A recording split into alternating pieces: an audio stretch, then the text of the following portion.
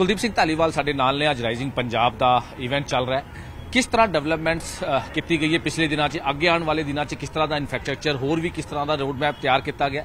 ਧਾਲੀਵਾਲ ਸਾਹਿਬ, ਲਗਾਤਾਰ ਜੇ ਆਪਾਂ ਗੱਲ ਕਰੀਏ, ਚਾਹੇ ਐਜੂਕੇਸ਼ਨ ਹੋ ਹੈਲਥ ਹੋ ਐਨਆਰਆਈਜ਼ ਦੇ ਮੁੱਦੇ ਹੋਣ, ਕਈ ਚੀਜ਼ਾਂ ਨੂੰ ਲੈ ਕੇ ਲਗਾਤਾਰ ਕੰਮ ਕੀਤਾ ਜਾ ਰਿਹਾ ਹੁਣ ਅੱਗੇ ਦਾ ਰੋਡ ਮੈਪ ਕੀ ਹੈ? ਕਿਸ ਤਰ੍ਹਾਂ ਤੁਸੀਂ ਵੇਖੋ ਨਹੀਂ ਨਹੀਂ, ਅੱਗੇ ਦਾ ਰੋਡ ਮੈਪ ਇਹ ਆ ਮੋٹے ਤੌਰ ਤੇ। ਜਿੰਨੇ ਵਾਅਦੇ ਅਸੀਂ ਇਲੈਕਸ਼ਨ ਦੇ ਵਿੱਚ ਕਰਕੇ ਆਏ ਸੀਗੇ ਸਾਡੇ ਕੌਮੀ ਕਨਵੀਨਰ ਅਰਵਿੰਦ ਕੇਜਰੀਵਾਲ ਜੀ ਔਰ ਭਗਵੰਤ ਮਾਨ ਜੀ।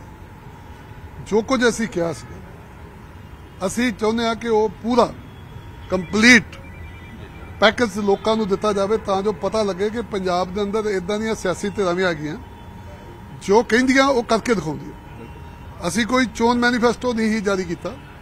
ਅਸੀਂ ਜਿਹੜੇ 5-7 ਵੱਡੇ ਵਾਅਦੇ ਸੀਗੇ, ਜੇ ਵੱਡੀਆਂ ਚੀਜ਼ਾਂ ਕਰਨ ਵਾਲੀਆਂ ਸੀਗੇ ਉਹਨਾਂ ਨਾਲ ਅਸੀਂ ਹਾਂ। ਮੇਰੇ ਨਾਲ ਅੰਦਰ ਉਹਨੇ ਹਰਜੋਤ ਬੈਂਸ ਸੋਣੀ ਐਜੂਕੇਸ਼ਨ ਮਿਨਿਸਟਰ ਨੇ ਉਹ ਬੋਲ ਰਹੇ। ਅਸੀਂ ਮਤਲਬ ਜਿਹੜੀ ਪੰਜਾਬ ਦੇ ਅੰਦਰ ਚੰਗੀ ਐਜੂਕੇਸ਼ਨ ਚੰਗਾ ਹੈਲਥ ਸਿਸਟਮ ਚੰਗੀ ਸਪੋਰਟਸ ਚੰਗੀ ਇੰਡਸਟਰੀ ਤੇ ਰੋਜ਼ਗਾਰ ਜਿਹੜੀਆਂ ਬੇਸਿਕ ਚੀਜ਼ਾਂ ਨੇ ਔਰ ਪੰਜਾਬ ਦੇ ਅੰਦਰ ਕਿਉਂਕਿ ਖੇਤੀਬਾੜੀ ਆਧਾਰਿਤ ਸੂਬਾ ਹੈ ਐਗਰੀਕਲਚਰ ਦੀ ਡਿਵੈਲਪਮੈਂਟ ਵਾਸਤੇ ਜੋ ਕੁਝ ਅਸੀਂ ਕਰ ਸਕਦੇ ਇਹ ਸਾਡੇ ਏਜੰਡੇ ਤੇ ਆ ਔਰ ਇਹ ਅਸੀਂ ਕਰਾਂਗੇ। ਮਤਲਬ ਕੀ ਤੱਕ ਇਹ ਕਰਕੇ ਦਿਆਂਗੇ। ਸਾਡੇ ਮਾਨਯੋਗ ਮੁੱਖ ਮੰਤਰੀ ਭਗਵੰਤ ਸਿੰਘ ਮਾਨ ਜੀ ਨੇ ਜਿੰਨੇ ਕੰਮ ਕਰਤੇ 19 ਮਾਰਚ ਨੂੰ 2 ਸਾਲ ਹੋ ਜਾਣੇ ਸਰਕਾਰ ਨੂੰ ਜਿੰਨੇ ਕੰਮ ਹੁਣ ਤੱਕ ਕਰਤੇ ਆ। ਮਾਨ ਸਾਹਿਬ ਨੇ ਮੈਨੂੰ ਲੱਗਦਾ ਨਹੀਂ ਹਿਸਟਰੀ ਦੇ ਵਿੱਚ ਕਿ ਚੀਫ ਮਿਨਿਸਟਰ ਨੇ ਇਹਨੇ ਟਾਈਮ ਦੇ ਵਿੱਚ ਇਹਨੇ ਕੰਮ ਕੀਤੇ ਹੋਣ। ਬਿਲਕੁਲ। ਔਰ ਇਹ ਪੰਜਾਬ ਲਈ ਇੱਕ ਚੰਗਾ ਸ਼ੁਭ ਸ਼ਗਨ ਹੈ ਕਿ ਬੜੇ ਚਿਰ ਬਾਅਦ ਪੰਜਾਬ ਦਾ ਇੱਕ ਸਧਾਰਨ ਪੰਜਾਬ ਦਾ ਇੱਕ ਧਰਤੀ ਪੁੱਤਰ ਜਿਹੜਾ ਭਗਵੰਤ ਸਿੰਘ ਮਾਨ ਪੰਜਾਬ ਦਾ ਮੁੱਖ ਮੰਤਰੀ ਬਣਿਆ। ਵੱਡੇ ਘਰਾਣਿਆਂ ਚੋਂ ਸਤਾ ਨਿਕਲ ਕੇ ਗਰੀਬ ਘਰਾਣਿਆਂ ਦੇ ਵਿੱਚ, ਗਰੀਬ ਲੋਕਾਂ ਦੇ ਵਿੱਚ ਆਈ, ਆਮ ਲੋਕਾਂ ਦੇ ਹੱਥਾਂ 'ਚ ਆਈ ਹੈ। ਸੋ ਆਮ ਬੰਦਾ ਜਿਹੜਾ ਉਮੀਦ ਕਰਦਾ ਆਮ ਬੰਦੇ ਤੋਂ, ਕਿਉਂਕਿ ਸਰਦਾਰ ਭਗਵੰਤ ਸਿੰਘ ਮਾਨ ਵੀ ਇੱਕ ਆਮ ਬੰਦੇ ਆ, ਅਸੀਂ ਸਾਰੇ ਆਮ ਬੰਦੇ ਆ। ਜੋ ਸਾਡੇ ਤੋਂ ਉਮੀਦ ਕਰਦੇ ਆ, ਉਹ ਉਮੀਦਾਂ ਜਿਹੜੀਆਂ ਸਾਰੀਆਂ ਪੂਰੀਆਂ ਕਰਾਂਗੇ ਠੀਕ ਹੈ। ਤੇ ਬਿਲਕੁਲ ਕੁਲਦੀਪ ਧਾਲੀਵਾਲ ਨੇ ਉਹਨਾਂ ਵੱਲੋਂ ਕਿਹਾ ਗਿਆ ਕਈ ਰੋਡ ਮੈਪ ਤਿਆਰ ਕੀਤੇ ਗਏ ਨੇ ਇਨਫਰਾਸਟ੍ਰਕਚਰ ਤਿਆਰ ਕੀਤਾ ਜਾ ਰਿਹਾ। ਆਉਣ ਵਾਲੇ ਦਿਨਾਂ 'ਚ ਕਾਫੀ ਚੀਜ਼ਾਂ ਨੂੰ ਲੈ ਕੇ ਕੰਮ ਕੀਤਾ ਜਾ ਰਿਹਾ। ਚੰਡੀਗੜ੍ਹ ਤੋਂ ਕੈਮਰਾਮੈਨ ਅਮਨਦੀਪ ਸਿੰਘ ਨਾਲ ਮਨੋਜ ਰਾਠੀ ਨਿਊਜ਼ 18 ਪੰਜਾਬ। ਕੁਲਦੀਪ ਸਿੰਘ ਧਾਲੀਵਾਲ ਸਾਡੇ ਨਾਲ ਨੇ, ਅੱਜ ਰਾਈਜ਼ਿੰਗ ਪੰਜਾਬ ਦਾ ਇਵੈਂਟ ਚੱਲ ਰਿਹਾ ਹੈ। ਕਿਸ ਤਰ੍ਹਾਂ ਡਿਵੈਲਪਮੈਂਟਸ ਕੀਤੀ ਗਈ ਹੈ ਪਿਛਲੇ ਦਿਨਾਂ 'ਚ, ਅੱਗੇ ਆਉਣ ਵਾਲੇ ਦਿਨਾਂ 'ਚ ਕਿਸ ਤਰ੍ਹਾਂ ਦਾ ਇਨਫਰਾਸਟ੍ਰਕਚਰ ਹੋਰ ਵੀ ਕਿਸ ਤਰ੍ਹਾਂ ਦਾ ਰੋਡ ਮੈਪ ਤਿਆਰ ਕੀਤਾ ਗਿਆ?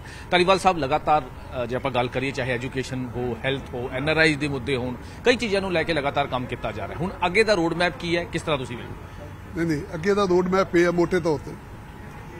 ਜਿੰਨੇ ਵਾਅਦੇ ਅਸੀਂ ਇਲੈਕਸ਼ਨ ਦੇ ਵਿੱਚ ਕਰਕੇ ਆਏ ਸੀਗੇ ਸਾਡੇ ਕੌਮੀ ਕਨਵੀਨਰ ਅਰਵਿੰਦ ਕੇਜਰੀਵਾਲ ਜੀ ਔਰ ਭਗਵੰਤ ਮਾਨ ਜੀ।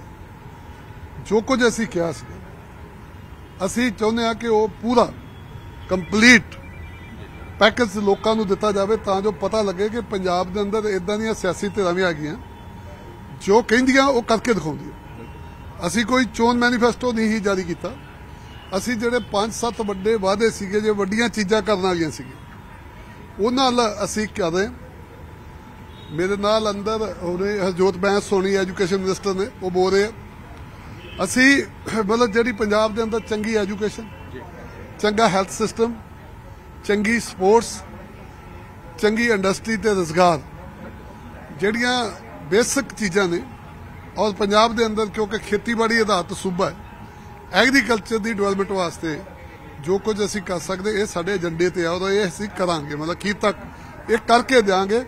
ਸਾਡੇ ਮਾਨਯੋਗ ਮੁੱਖ ਮੰਤਰੀ ਭਗਵੰਤ ਸਿੰਘ ਮਾਨ ਜੀ ਨੇ ਜਿੰਨੇ ਕੰਮ ਕਰਤੇ 19 ਮਾਰਚ ਨੂੰ 2 ਸਾਲ ਹੋ ਜਾਣੇ ਸਰਕਾਰ ਨੂੰ ਜਿੰਨੇ ਕੰਮ ਹੁਣ ਤੱਕ ਕਰਤੇ ਆ ਮਾਨ ਸਾਹਿਬ ਨੇ ਮੈਨੂੰ ਲੱਗਦਾ ਨਹੀਂ ਹਿਸਟਰੀ ਦੇ ਵਿੱਚ ਕਿ ਚੀਫ ਮਿਨਿਸਟਰ ਨੇ ਇਹਨੇ ਟਾਈਮ ਦੇ ਵਿੱਚ ਇਹਨੇ ਕੰਮ ਕੀਤੇ ਹੋਣ। ਬਿਲਕੁਲ। ਔਰ ਇਹ ਪੰਜਾਬ ਲਈ ਇੱਕ ਚੰਗਾ ਸ਼ੁਭ ਸ਼ਗਨ ਹੈ ਕਿ ਬੜੇ ਚਿਰ ਬਾਅਦ ਪੰਜਾਬ ਦਾ ਇੱਕ ਸਧਾਰਨ ਪੰਜਾਬ ਦਾ ਇੱਕ ਧਰਤੀ ਪੁੱਤਰ ਜਿਹੜਾ ਭਗਵੰਤ ਸਿੰਘ ਮਾਨ ਪੰਜਾਬ ਦਾ ਮੁੱਖ ਮੰਤਰੀ ਬਣਿਆ। ਵੱਡੇ ਘਰਾਣਿਆਂ ਚੋਂ ਸਤਾ ਨਿਕਲ ਕੇ ਗਰੀਬ ਘਰਾਣਿਆਂ ਦੇ ਵਿੱਚ, ਗਰੀਬ ਲੋਕਾਂ ਦੇ ਵਿੱਚ ਆਈ, ਆਮ ਲੋਕਾਂ ਦੇ ਹੱਥਾਂ 'ਚ ਆਈ ਹੈ। ਸੋ ਆਮ ਬੰਦਾ ਜਿਹੜਾ ਉਮੀਦ ਕਰਦਾ ਆਮ ਬੰਦੇ ਤੋਂ, ਕਿਉਂਕਿ ਸਰਦਾਰ ਭਗਵੰਤ ਸਿੰਘ ਮਾਨ ਵੀ ਇੱਕ ਆਮ ਬੰਦੇ ਆ, ਅਸੀਂ ਸਾਰੇ ਆਮ ਬੰਦੇ ਆ। ਜੋ ਸਾਡੇ ਤੋਂ ਉਮੀਦ ਕਰਦੇ ਆ, ਉਹ ਉਮੀਦਾਂ ਜਿਹੜੀਆਂ ਸਾਰੀਆਂ ਪੂਰੀਆਂ ਕਰਾਂਗੇ। ਠੀਕ ਹੈ। ਤੇ ਬਿਲਕੁਲ ਕੁਲਦੀਪ ਧਾਲੀਵਾਲ ਨੇ ਉਹਨਾਂ ਵੱਲੋਂ ਕਿਹਾ ਗਿਆ, ਕਈ ਰੋਡ ਮੈਪ ਤਿਆਰ ਕੀਤੇ ਗਏ ਨੇ ਇਨਫਰਾਸਟ੍ਰਕਚਰ ਤਿਆਰ ਕੀਤਾ ਜਾ ਰਿਹਾ, ਆਉਣ ਵਾਲੇ ਦਿਨਾਂ 'ਚ ਕਾਫੀ ਚੀਜ਼ਾਂ ਨੂੰ ਲੈ ਕੇ ਕੰਮ ਕੀਤਾ ਜਾ ਰਿਹਾ। ਚੰਡੀਗੜ੍ਹ ਤੋਂ ਕੈਮਰਾਮੈਨ ਅਮਨਦੀਪ ਸਿੰਘ ਨਾਲ ਮਨੋਜ ਰਾਠੀ ਨਿਊਜ਼ 18 ਪੰਜਾਬ।